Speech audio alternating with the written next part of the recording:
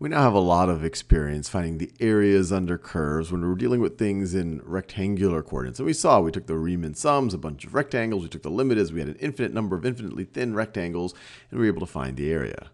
But now let's move on to polar coordinates. And polar coordinates, I won't say we're finding the area under a curve, but really in this example right over here, we have a part of the graph of r is equal to f of theta, and we've graphed it between theta is equal to alpha and theta is equal to beta. What I want to do in this video is come up with a general expression for this area in blue. This area that is bounded, I guess you could say, by those angles and the graph of r is equal to, r is equal to f of theta. And I want you to come up, or at least attempt to come up with an expression on your own, but I'll give you a little bit of a hint here. When we did in rectangular coordinates, we divided things into rectangles. Over here, rectangles don't seem as obvious because they're all kind of coming to this point. But what if we could divide things into, if we could divide things into sector, I guess we could say little pie pieces. Someone's doing some serious drilling downstairs. I don't know if it's picking up on the microphone, but anyway, I will continue. So what would happen if we could divide this into a whole series of kind of pie pieces.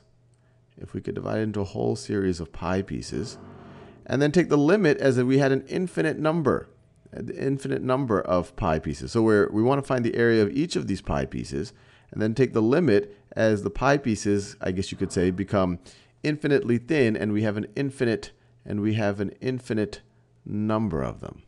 And I'll give you one more hint. I'll give you one more hint for thinking about the area of these pie, I guess you could say pie, the area of these pie wedges. I'll give you another hint. So if I have a circle, I'll my best attempt at a circle.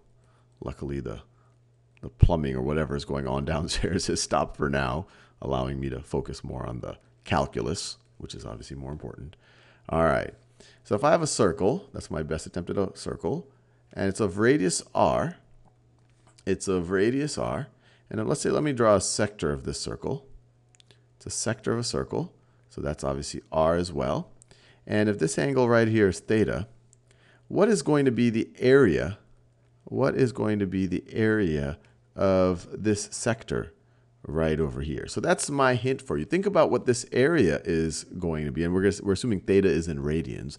Think about what this area is going to be, and then see if you can extend that to what we're trying to do here to figure out a somehow I'm, I'm giving you a hint again using integration uh, finding an expression for this area so I'm assuming you've had a go at it. So first let's think about this. So what's the area of the entire the area of the entire circle? Well we already know that. That's going to be pi r squared formula for the area of a circle. And then what's going to be the area of this? What's going to be a fraction of the circle. If this is pi uh, sorry, if this is theta, where they, if we went 2 pi radians, that would be the whole circle. So this is going to be pi, sorry, this is going to be theta over 2 pi of the circle. So times theta over, over 2 pi times theta over 2 pi would be the area of this sector right over here. Area of the whole circle times the proportion of the circle that we've kind of, we have defined or that the sector is made up of. And so this would give us, this would give us, the pi's cancel out. It would give us 1 half r squared times theta. Now, what happens if instead of theta, so let's, let's look at each of these over here. So each of these things that I've drawn. So let's focus just on one of these, one of these wedges. I will highlight it in orange. I'll highlight it in orange. So instead of the angle being theta, let's just assume it's a really, really, really small angle. Let's, we'll use a differential, although this is a little bit of loosey-goosey mathematics, but the important here is to give you the conceptual understanding. I could call it a, a delta theta and then eventually take the limit as our delta thetas approach zero. But I'm just going to, just for conceptual purposes, assume we have a infinitely small or super small change in theta. So let's call that d theta and d theta. And this this, the, the radius here, or I guess we could say this length right over here, you could view it as the radius of at least the arc right at that point. It's going to be r it's going to be r as a function of the thetas that we're around right over here. But we're just going to call that our r right over there. And so what is going to be the area of this little sector? Well, the area of this little sector is going to, instead of my angle being theta, I'm calling my angle d theta, this little differential. So instead of 1 half r squared, it's going to be, let me do that in a color you can see, this, this, is, this area is going to be 1 half r squared d theta. Notice here the angle was theta, here the angle is just d theta, super, super small angle.